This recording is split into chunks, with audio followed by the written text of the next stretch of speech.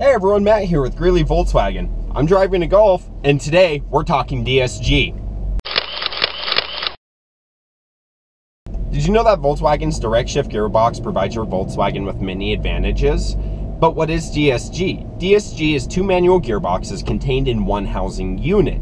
This allows for faster shift time and it eliminates the need of a torque converter found in conventional transmissions. But what type of advantages do you get with the DSG?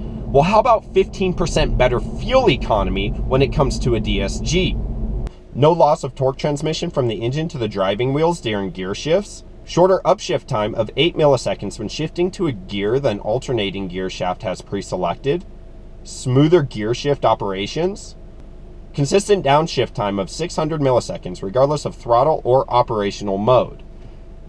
All right, everyone, I want to thank you so much for checking out our video here today on DSG, and I'll see you in the next video.